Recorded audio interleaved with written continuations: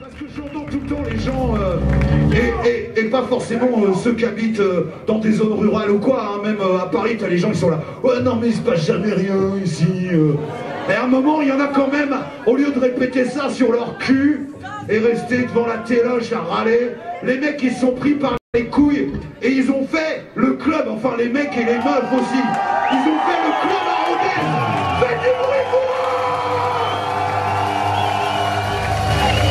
C'est la classe, c'est vraiment la classe, on est content des classes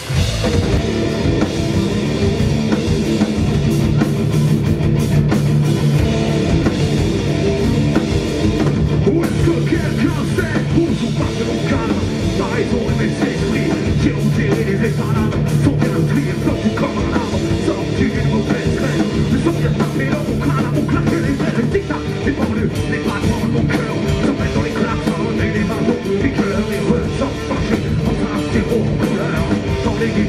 guitares